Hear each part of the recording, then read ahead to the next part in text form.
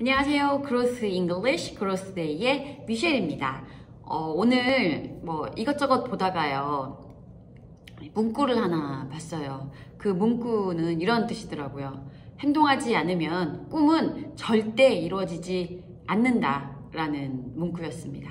많은 사람들이 실행으로 옮겨야 한다라는 건 잘 알고 있잖아요. 근데 그런데 솔직히 쉽지는 않죠. 맞아요. 쉽지 않죠. 쉬웠다면 다 부자 되고 다 성공할게요. 네.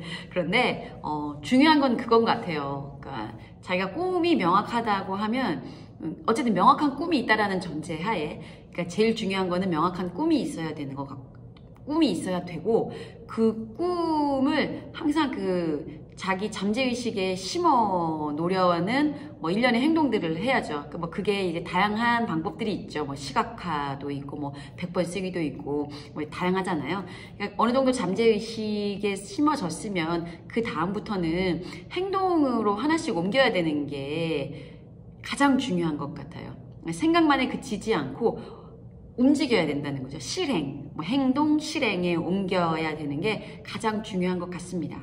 어, 여러분은 어떠신가요? 오늘 분명히 여러분이 하려고 했던 무언가의 목표가 있었을 거잖아요. 계획 같은 게 있었을 터인데 혹시 어느 정도의 달성률을 예, 달성하셨나요? 네. 저 같은 경우는 오늘 네 가지 정도가 있었는데요. 그 중에서 두 가지는 했고요. 나머지 두 개는 두 개 중에 하나는 어, 유튜브랑 인스타그램 그러니까 제가 가, 제가 활용하고 있는 플랫폼이 인스타랑 유튜브 이 두 개의 컨텐츠를 다섯 개 올리는 거예요. 그래서 지금 이제 그 과정에 있고요. 나머지 하나는 어, 또이 그 다섯 개 올리는 것 중에 하나 네요. 네. 어쨌든 저의 가장 큰 오늘 해야 될 실행으로 옮기는 건 어, 두 가지 플랫폼 인스타와 유튜브에 저의 컨텐츠 다섯 개를 올리는 겁니다.